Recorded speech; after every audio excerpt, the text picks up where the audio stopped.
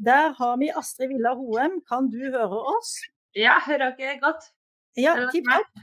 Du er nestleder i AUF, og vi vil gjerne ha med en representant for ungdomsgenerasjonen her i dag til å reflektere litt over dette med spørsmål om grønn omstart etter koronakrisa.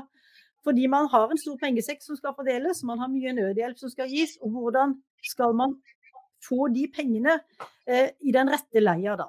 Og så har vi hørt at Conny Hedegaard og en rekke andre har etterlyst konkrete, solide grep for å bruke denne krisa bra. Hvordan ligger det an i Norge hittil, syns du? Altså Hvis jeg skal være helt ærlig, så føler jeg at vi ligger litt dårligere an enn vi gjorde før koronaepidemien starta, før koronapandemien starta. Jeg syns vi snakker annerledes om oljeskatteregimet enn vi gjorde rett før. Da var det ganske diskusjoner eh, om å stramme inn. Nå er det diskusjoner man skal gi enda mer. Um, og mange av krisetiltakene som er satt inn, er både klimafiendtlige og omstillingsvennlige. Eh, nei, omstillingsfiendtlige, sånn som at man har gitt olje- og gassindustrien svære, svære skatteutsettelser på 100 milliarder kroner. Eh, så det er jeg litt bekymra for. Og så er jeg også bekymra for at hele debatten og retninga går litt i feil retning. At flere og flere snakker også om at man trenger en eh, næringsnøytral næringspolitikk, når det vi egentlig trenger en aktiv næringspolitikk som peker ut hva vi skal leve av i framtida, hva som skal være Norges satsingsområder om 10-20-30 år. Um, så, så, på ene sida så er jeg litt eh, negativ.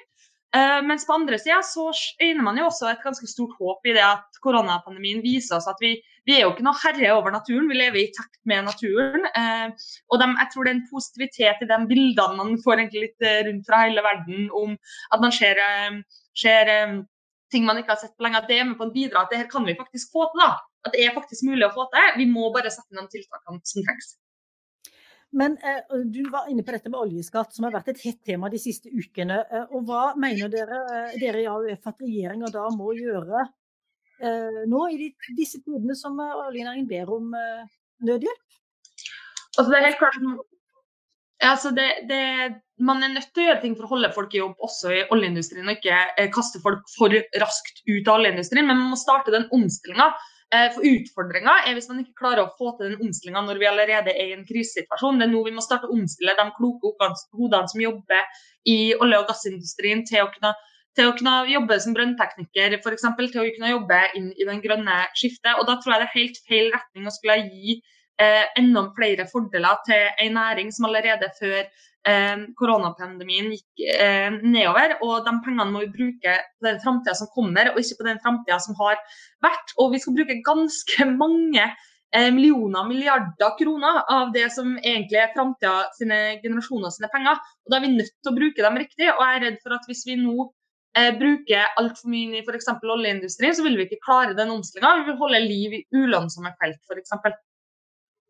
Det kan jo da eh, resultere i sløsing, rett og slett, hvis man investerer i et oljefelt som har lang ledetid. Dvs. Si at det tar lang tid fra man investerer til man får noen penger igjen. Uh, spesielt er det sånn i oljenæringen. Da kan jo det også Man risikerer sløsing. Men så er det jo sånn uh, det, er så rart å tenke på, egentlig, men i 2050 så er jo folk som er 20 år i dag, da er de bare 50 år. Så når, når de er 50 år, du er jo 25 år Astrid, eh, i 2050 så er du 55 år da. Og det betyr simpelthen at da skal Norge være i null.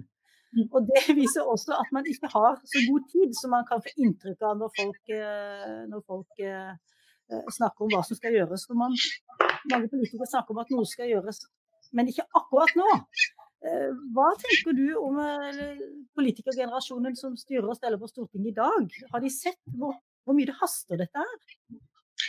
Jeg tror mange er klar over hvor mye det haster, men at det mangler litt på, på at tiltakene faktisk settes inn, at vi gjør de kuttene som er nødvendige.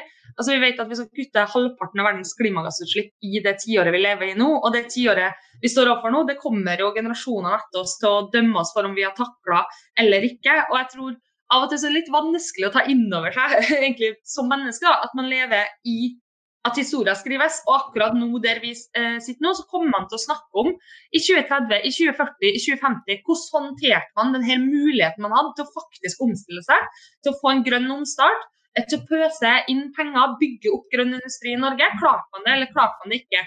Og Da tror jeg de aller fleste har lyst til at uh, våre barnebarn og, og, mine barn skal lære på skolen at, at det klarte vi. Men, men, da er vi også nødt til å gjøre de tiltakene som trengs. Vi er nødt til å klare å omstille oss til grønt. Vi er nødt til å klare det uten at ulikheten øker for mye. Eh, og det har vi egentlig ganske kort tid på oss. Men, men jeg tror det er mulig, og jeg tror eh, Jeg er liksom positiv eh, for framtida, men samtidig så, så, krever det bare at man er tøff nok til å gjøre en del prioriteringer og tiltak som, som kanskje var annerledes enn sånn som vi har gjort det før koronapandemien. Argumentasjonen og retorikken har jo ofte vært at man må fortsette med å pumpe opp olje, fordi det gir så veldig stor inntekt til statskassa i Norge hvert år.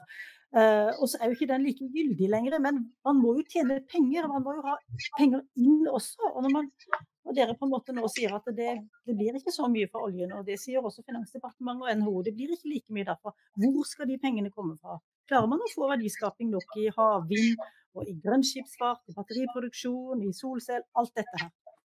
Jeg er usikker på om man kommer til å se den samme liksom, eh, massive inntekten fra en enkeltnæring, sånn som man har sett fra oljeindustrien. Det tror jeg ikke. Men hvis vi klarer å bygge opp grønn industri både på karbonfangst og -lagring, på havvind, på elferger, på en del av de eh, naturgitte fordelene som også Norge har, så tror jeg det er fullt mulig å eh, fortsette å ha eh, inntekter til staten. Men jeg tror også at vi må gjøre andre ting, som å liksom øke skattene for Norges aller, aller rikeste, og en del sånne ting for å få inn flere eh, inntekter. Men, men at eh, vi har ikke råd til å føre eh, politikk de kommende dagene og ukene og årene i krisepakka som gir som holder potensielt kunstig liv i ulønnsomme felt i oljeindustrien, eh, og som ikke eh, peker ut eh, strategisk hvor vi ønsker å være om 10-20 år. Så, så, det viktigste nå er egentlig å, å kanskje egentlig når man sitter i en krise, og ikke bli altfor redd for at, um, at det at, altså redd at man ikke tør å ta de riktige valgene. Da. At man må sette seg ned og tenke sånn, hvor er vi skal være om 10-20-50 år, for det setter vi egentlig akkurat nå. Så nå syns jeg du avslutta veldig greit, fordi du hørtes akkurat ut som Conny Hedegaard, som var en av de første som starta denne eh, klimafrokosten. Eh, jeg bare nevner i farta at den neste klimafrokosten vår som er 4.6, den skal handle om ammoniakk. Vår neste mulige grønne store klimaløsning, men det kan vi komme tilbake til. Den er 4.6, så holder datoen alle mann.